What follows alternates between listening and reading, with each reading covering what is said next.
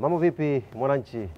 Bara, bila shaka yoyote ile kiu chetu cha muda mrefu kimeshakatwa siku ya leo. Uzi mpya kabisa, mabingwa jezi namba moja kwa ubora barani Afrika imezinduliwa leo. Sasa hivi mitaani kote huko watu wanapita wakiwa wamevimba na jezi za Young Africans, wanachangamkia tu jezi ya kwanza, ya pili au ya tatu, wewe unavaa unapendeza. Baada ya uzinduzi, mara zote swali la pili ambalo huwa linafata ni kwa nini Yanga wametoa jezi za aina hii? Maswali yamekuwa mengi sana, na sisi mara zote pia mtu wa kujibu maswali haya si mwingine ni Sheria Ngoi, mbunifu wa jezi ambaye tumemkabidhi hili jukumu na mara zote amekuwa akifanya kwa kiwango cha juu kabisa.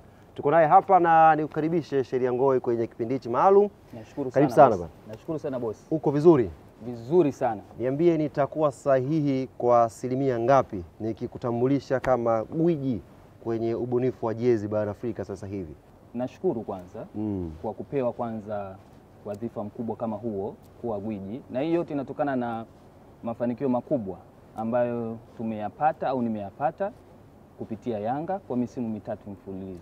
Kwa hiyo mimi kwangu ni heshima kubwa sana, kwa sababu kama mbunifu wa ndani nimeweza kuthaminishwa, ambapo sasa bara la Afrika limeweza kuona kwa kupitia nilipothaminishwa, ambayo ni timu ya Yanga.